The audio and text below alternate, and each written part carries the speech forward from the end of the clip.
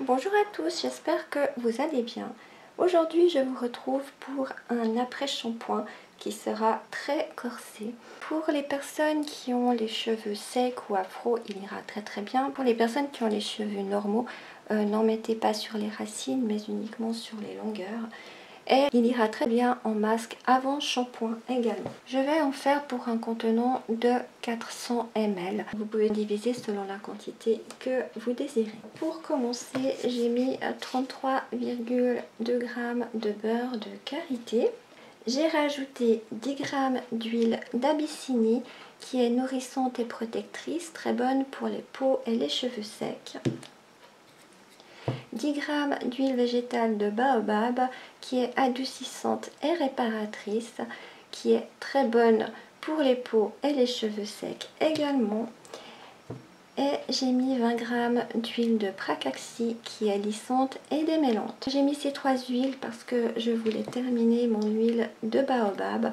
Mais il est clair que si vous n'avez pas les trois, vous pouvez très bien mettre qu'une seule de ces huiles ou deux, c'est à vous de voir. Ensuite, j'ai mis 268 g d'eau.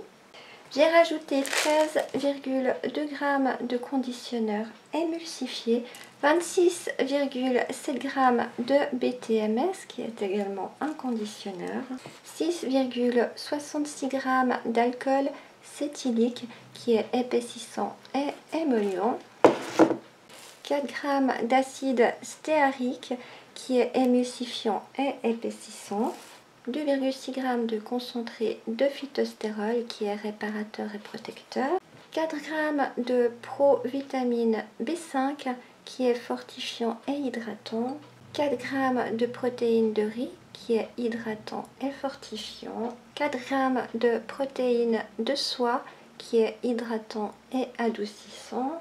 Je vais rajouter 52 gouttes d'acide lactique qui est un acidifiant donc euh, ça va être pour le pH et en plus c'est très très bon pour les cheveux. Je vais mettre 3,4 g de Cosgarde et la fragrance cachemire et soie de la folie des senteurs. Comme d'habitude, j'ai déjà pesé mes ingrédients. Dans cette casserole, j'ai mis 268 g d'eau, et dans celle-ci, j'ai mis 33,2 g de beurre de karité, 10 g d'huile de baobab, 10 g d'huile d'abyssinie, 20 g d'huile de pracaxi, 13,2 g de conditionneur émulsifié, 26,7 g de BTMS, 6,66 g d'alcool cétylique, 4 g d'acide stéarique et 2,6 g de phytostérol. Alors, je laisse fondre tout ça et je vous retrouve pour la suite de la recette. Tous mes ingrédients sont fondus.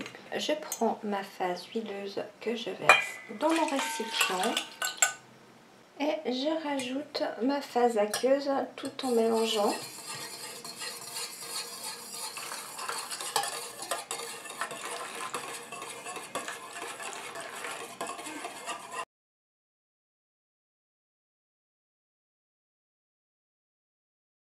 Je continue à mélanger comme ça jusqu'à ce que mon émulsion épaississe et refroidisse.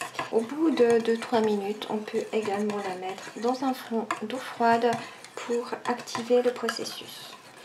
Donc je vous retrouve pour la suite dès que mon émulsion sera prête. Mon émulsion a épaissi. Ça me donne quelque chose de très épais. J'adore cette texture d'après shampoing. Je rajoute mes 4 g de provitamine B5.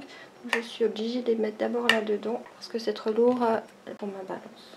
Euh, je l'incorpore à ma préparation et je mélange.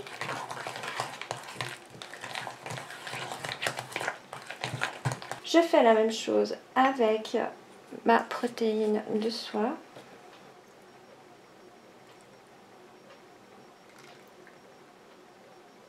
Je l'incorpore et je mélange.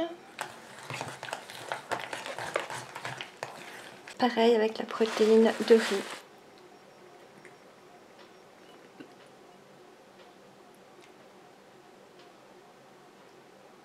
Je l'incorpore et je mélange. Je mets mes 52 gouttes d'acide lactique. Et je mélange. Je mets mon casse-garde.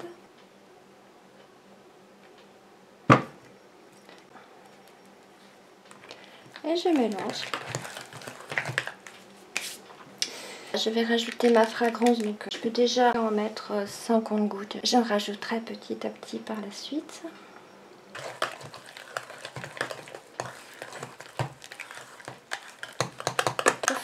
J'ai mis 80 gouttes de fragrance. Je vais mettre tout ça en pot. J'ai directement choisi un gros pot de 500 ml. Donc mon après-shampoing est terminé. Ça ne me remplit pas tout à fait ma boîte de 500 ml, mais ça fait déjà une bonne quantité. J'espère que cette recette vous aura plu. Si c'est le cas, n'oubliez pas un petit pouce en l'air.